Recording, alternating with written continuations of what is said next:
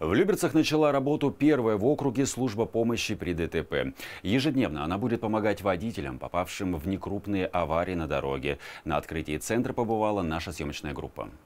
Оформить мелкое ДТП, не вызывая сотрудников госавтоинспекции, россияне могут уже два года. Это экономит время автолюбителям и дает возможность сотрудникам ГИБДД заниматься более глобальной работой, регулировать движение и выявлять нетрезвых водителей. Но участники дорожного движения до сих пор боятся самостоятельно фиксировать происшествия и заполнять документы. Поддержку окажет служба помощи при ДТП как оформить извещение, как оформить европротокол, как сделать фото-видеофиксацию, то, о чем многие просто не знают.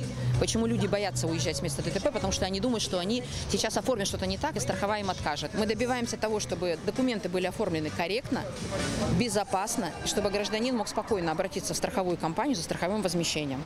Работа службы актуальна. Более 70% ДТП в стране мелкие. За два года помощь получили более 80 тысяч человек. В Подмосковье уже работает 6 офисов. В Люберецком поддержку водителям будут оказывать два специалиста центра и один сотрудник ГИБДД.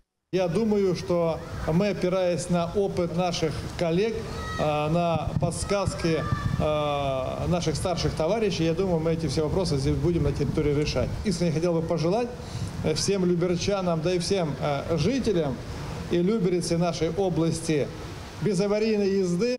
Служба помощи при ДТП оказывает бесплатную помощь ежедневно с 8 утра до 8 вечера. Круглосуточную поддержку можно получить, позвонив на горячую линию по номеру 112. Александр Колганов, Денис Заугольников, телеканал ЛРТ.